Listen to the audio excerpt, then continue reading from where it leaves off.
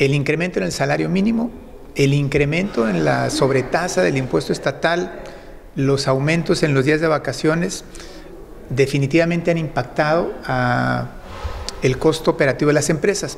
Ahora, ¿qué, qué, qué es lo importante que hay que tomar aquí? Que como empresarios no estamos en contra de que haya mejoras eh, y beneficios a los trabajadores. ¿no? Lo que nos afecta es que esos cambios son tan abruptos. ¿no? Lo ideal sería que fueran eh, de manera secuencial, programada, que los incrementos eh, ya lo supiéramos desde un inicio, que vaya un incremento gradual 2023, 2024, 2025 y que eso nos dé oportunidad como empresarios a tomar las acciones correctivas necesarias. ¿no?